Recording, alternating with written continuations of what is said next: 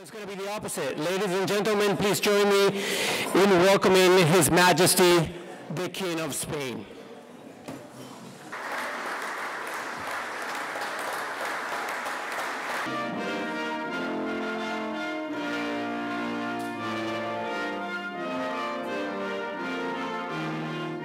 watch the television series before discussing and debating the most critical global issues facing America.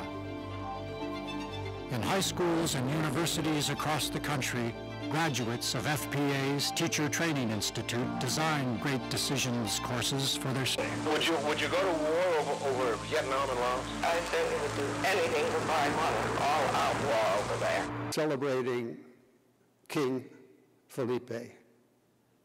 But he will always be Prince Felipe to me.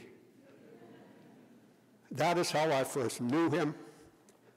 That is how I will always know him because he is an absolute prince of a person.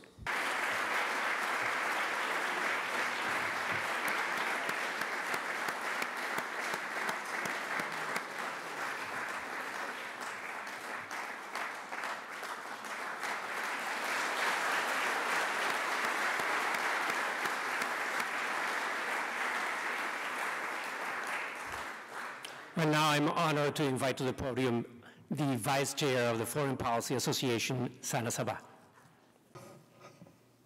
His Majesty King Felipe is a symbol of the unity and the continuity of the Spanish state and the living embodiment of the rights and freedoms enshrined in the Spanish Constitution.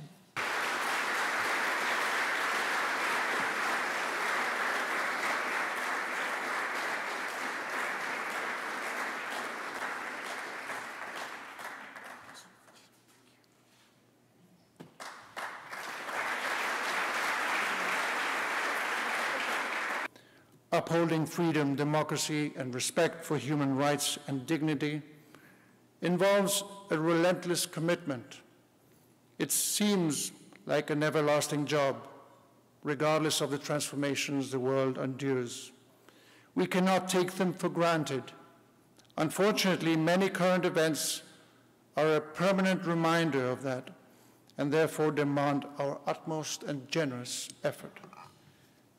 From this very place and time, we must make an appeal to preserve those values.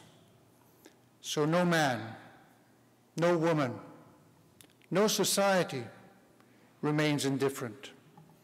It is our duty and responsibility for ourselves and for our children. Thank you very much for this honor. Good evening.